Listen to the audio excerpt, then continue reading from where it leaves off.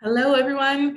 I'm Jennine, a local realtor here in Edmonton Sherwood Park area. Today, I'm talking to you from a different spot than my normal spot. I'm pretty sure there's a wasp in my office and I can't find it and it's freaking me out. So I'm sharing a space with my bulldog.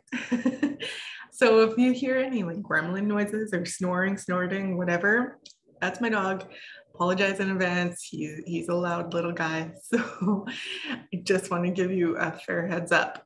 Anyways, let's talk about what we're actually here for, and that's the real estate market in Sherwood Park to see what's been happening. So um, we're about just over a month, well, pretty much going into two months now since the government has um, announced some of their plans to help the housing market. Um, I'll link, I talk about in a different video, so I'm going to link that in the top corner if you want to learn more about that. But they announced a lot of different plans and initiatives that they're planning on doing. And along with that, there's also been rise in interest rates. So everyone's kind of curious what's what's happening with the market and what's been going on. So let's take a little bit of a deeper look. Okay. So overall in Sherwood Park, um, still about the same kind of amount active, slight increase in total sales and not much inventory, less than a month worth of inventory. The average selling price has decreased slightly, um, but that it's not a huge issue there. And I'll show you why. Uh, average days on market, pretty much the same, just, just over two week point. So let's look.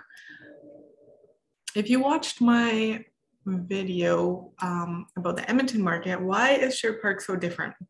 This is why. We still have really low inventory in Sherwood Park. There's just not that much for sale. There's not much option and there's a lot of demand. So when the demand is high and the supply is low, that helps push increases in pricing. It shortens the days on market. So as you can see, there's still quite a bit going at or over list price in Sherwood Park.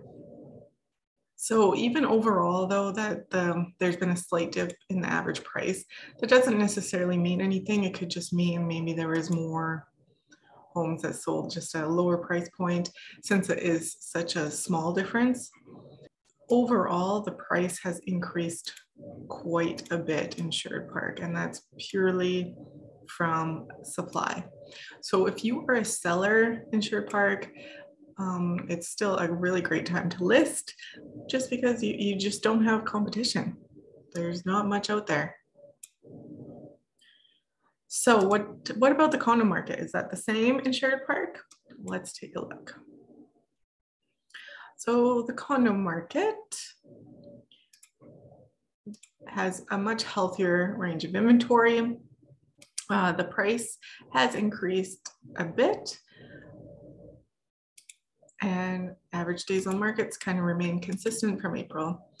But the price overall has been increasing since like the start of the year. And basically for this is probably because there is just so much low inventory for single family homes that a lot of people are going into the condo market. So let's take a look at some of the closer numbers. So yes, a healthy range of inventory. Not much is going at or over list price for the condo market. So overall, the condo market's remaining pretty consistent. So if you're um, selling a condo in Sherwood Park, remember competitive pricing is key, showing your home in the best possible light. And if you're a buyer, you this is your opportunity to get into Sherwood Park without all the competition of uh, single family homes, for example. So if you have any questions or if you want to go over this in a little bit more depth, I'm always happy to answer any questions. And until next time, see you.